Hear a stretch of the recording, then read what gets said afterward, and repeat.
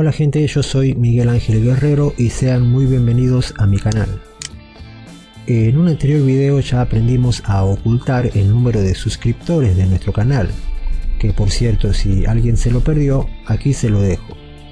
Hoy es el turno de las calificaciones o puntuaciones de nuestros videos, o sea que vamos a aprender a ocultar la cantidad o el número de likes y dislikes de nuestros videos. Esto es importante ya que si los nuevos visitantes entran a un video nuestro y ven que este tiene muchos dislikes, eh, ellos se van a espantar y nos abandonarán, así de simple. No se van a quedar a ver ni, ni siquiera 10 segundos el video. Pero bueno, basta de palabras y vamos al grano. Supongamos que este video tiene más dislikes que likes y queremos ocultar esa calificación. Para ello vamos a hacer lo siguiente. Estamos en la página de nuestro canal. Aquí debemos hacer clic en el botón YouTube Studio. Esperamos unos segundos hasta que se cargue.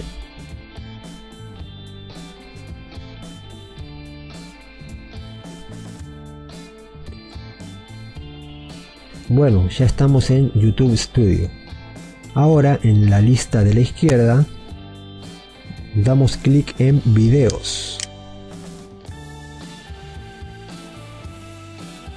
Luego ubicamos el video. Aquí está. Lo seleccionamos marcándolo con un clic. Ahora pulsamos en la flechita de editar. Bajamos y le damos clic a puntuación de los usuarios. Clic en valor nuevo y elegimos desactivado. Clic en actualizar videos. Marcamos aquí.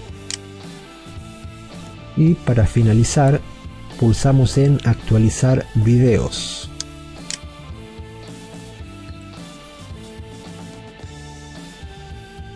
Ahí está. Ahora vamos a comprobar. Vamos a actualizar la página del video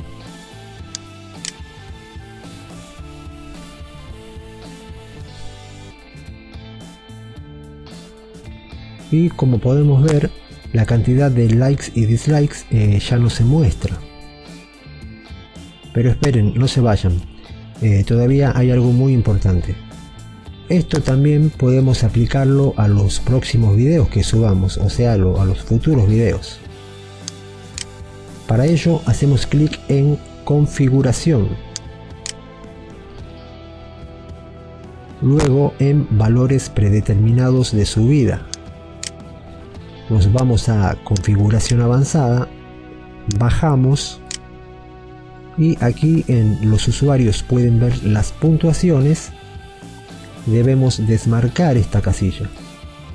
La desmarcamos y damos clic en guardar.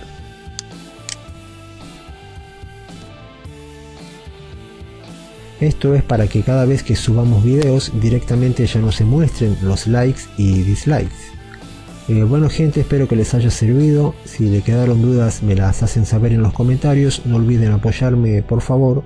Y muchas gracias por su atención y hasta la próxima. Chao.